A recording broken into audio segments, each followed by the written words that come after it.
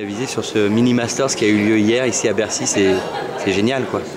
Ben voilà, c'est ce qu'on attendait depuis, depuis quelques années. Un tournoi comme ça ne méritait pas un plateau au, au rabais comme euh, malheureusement ça avait été le cas les dernières années. Là, il y a eu un, tournoi magnifique avec euh, différents enjeux.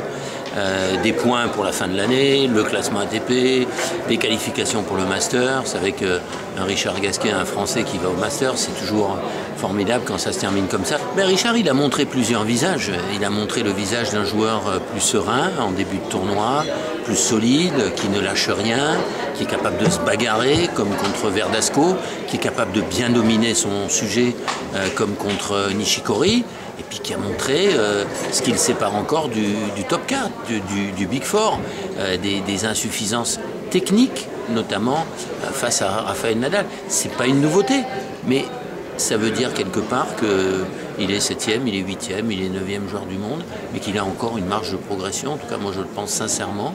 Et je pense que Sébastien Grosjean et Ricardo Piatti le savent aussi. C'est un joueur qui a encore une marge de progression. À ce niveau-là et à son âge, c'est formidable, il faut qu'il continue à travailler. Et je suis sûr qu'il n'est pas moins fort que des Berdych, euh, qu'un Vite Ferrer qui baisse un peu, qu'un Federer qui va forcément baisser un peu plus.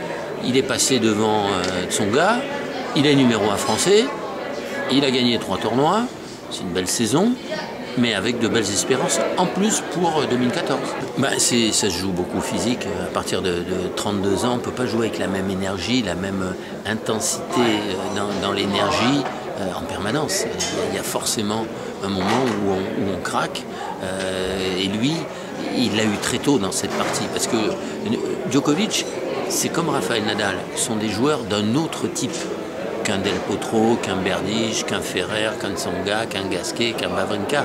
Il faut être capable de tenir l'intensité en permanence et c'est peut-être ce qui manque désormais à Roger. Alors il est capable de le faire pendant 5 ou 6 jeux parce qu'il a beaucoup de, de, prestance, il a des présence euh, et il a des choix euh, de temps en temps tactiques et techniques euh, qui lui permettent de, faire illusion. Mais contre Djokovic, ça a duré jusqu'à 5-4 au premier. Déjà là, il sauve son service de façon un petit peu miraculeuse. Et à partir du deuxième set, même s'il fait le break, on sent qu'il est, qu'il est sur la pente. Et il n'a jamais pu après maîtriser, ni même monter au filet ni maîtriser le jeu de, de Djokovic, qui l'a promené, qui l'a baladé, qui lui a imposé sa filière, et dont le retour de service finalement a été supérieur au service de,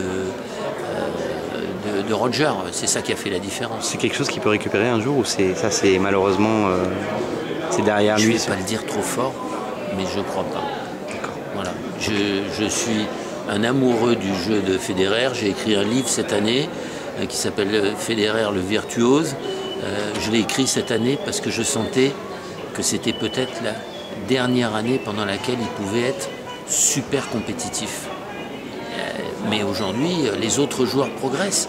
Et lui, euh, tous les ans, euh, malheureusement, comme David Ferrer, il, prend un an. Hmm. Et, euh, comme nous tous d'ailleurs. Et, voilà, donc c'est une, c'est une triste réalité dans le sport de très très haut niveau. C'est quelque chose, l'outrage du, temps, qui est difficilement effaçable.